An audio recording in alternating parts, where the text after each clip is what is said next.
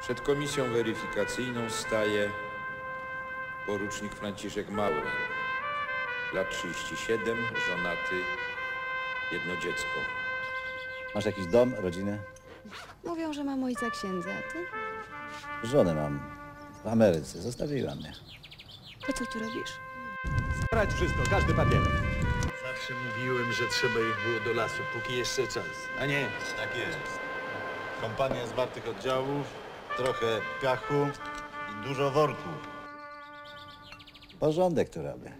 Panie kapitanie, podporucznik Morawiec Waldemar ze szkoły w Szczytnie. Dobra, dobra, ty jakieś masz? Tak jest.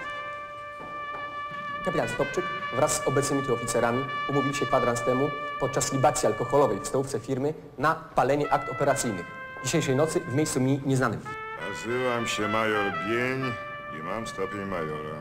Od wczoraj jesteście moimi podwładnymi, a ja jestem waszym bezpośrednim przełożonym.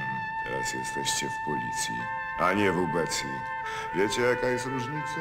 W ubecji nic się nie robiło i brało się za to duże pieniądze. W policji trzeba będzie harować non-stop i nie będzie za to żadnych kokosów.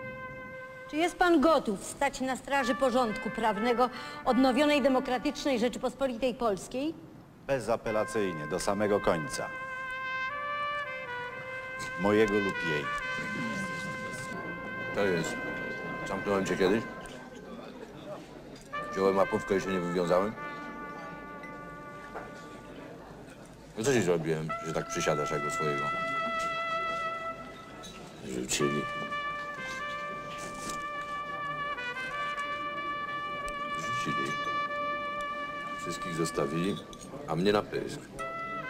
W nocy w motelu zdejmujemy szajkę przemytników samochodów. Kradną w Niemczech i przez terytorium naszego kraju przemycają do Rosji. Ciężkie pieniądze.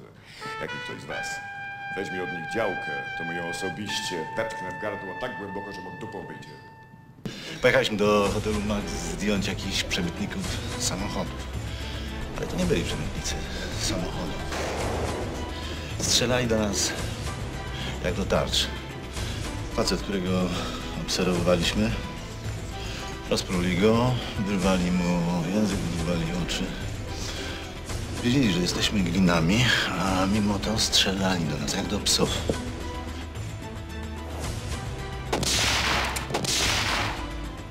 Ja to wytrzymam, ty nie. Kto cię wyciągnie? Kto cię wyciągnie?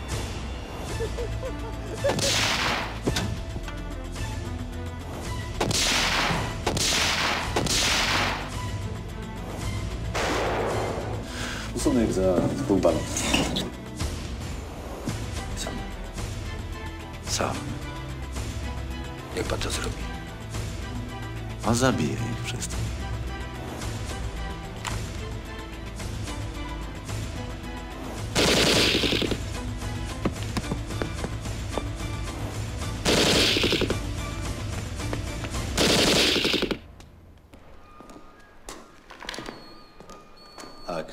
Umarł, ten nie żyje.